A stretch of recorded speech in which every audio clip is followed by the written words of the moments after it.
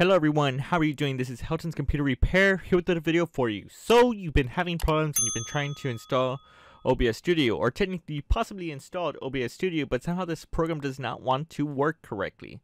So pretty much you probably got to try to install and you're in process and you're trying to press run and you saw this error and technically you press no. I'm going to go ahead and press yes first and let's go ahead and try this again to show you. You press no and we pretty much went to the same process. Yes. And then we press next and we press no and now it doesn't want to work. So technically you don't know what to do. It pretty much gets a glitch or somehow this program got installed and now doesn't want to work.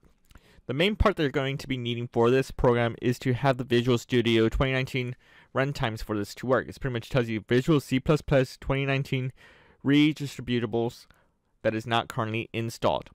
Right here, my system is a 64-bit to make sure if your computer is a 64-bit, if it's like, then you'll pretty much go to this PC and you can right click on it select properties. You can find out right here. Mine's a 64-bit, right here where it says system type, 64-bit operating system x64 based processor.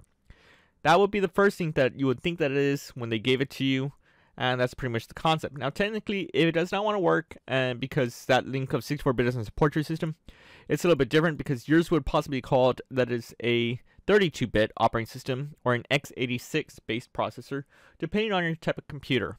So we understand you might get that same concept of trying to get this program to work. So if it comes to that point and you somehow got to this one right here that came to Visual Studio 2019 runtimes um, 64-bit, just be sure you just change this to 32-bit. And technically I'm going to go ahead and give you these links for it too. It'll pretty much come to the same locations. So if you have the 32-bit, you'll select this same thing, the Visual C++ 2019 redistributable 32-bit, depending on your system. Mine, again, is a 64-bit, so I'll select this one. From that point, I'm going to go ahead and just download this file. Go ahead, once it's done, go ahead and open it. And you'll probably come to this point, I'm pretty much going to go ahead and just exit the browser, I don't need anymore. You will need to agree this license and term and conditions for this to be installed. You will need this program for it technically to work. So if it comes to a point, go ahead and press yes. If it does show you and tells you that this program is not accepted, blah, blah, blah, just try and find a way and just run it anyway. You will need that for it to work.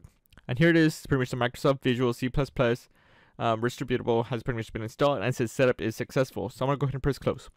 So now if I try this again and try to install the OBS Studio, I'm going to press yes, it's going to be prompted.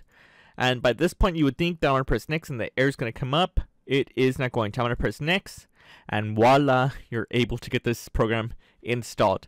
And that is pretty much how to fix this problem where your OBS does not want to be installed on your computer.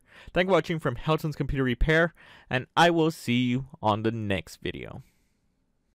Thanks for watching guys. If you disliked this video, then hit that button. But if you like it and you want to see more, hit that like button, get subscribed, comment, and tell us what other tech videos you want to see.